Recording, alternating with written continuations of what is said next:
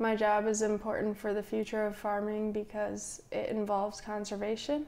Um, that is something that is becoming more and more talked about with different problems um, like soil runoff and erosion and nitrate runoff.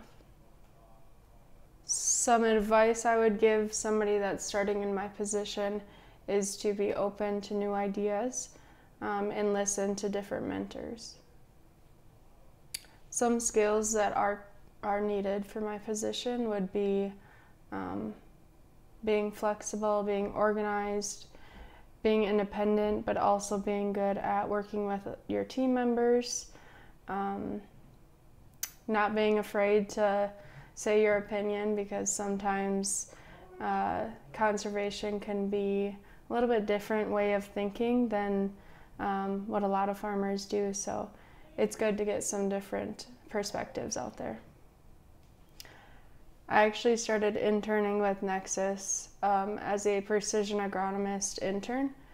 Uh, from there is when I actually got hired full time. So they kind of prepared me for the, my full time position right away. I like the flexibility that my job provides. Um, some days I'm out in the field, some days I'm here in my office um, talking with farmers, doing field days. Um, so there's a lot of different uh, places that I am. I'm not just always in an office. I would recommend joining the Nexus team because they're a great group of people. Um, lots of different people to talk to if you have questions. Um, a lot of knowledgeable people as well that can help you through your career. So.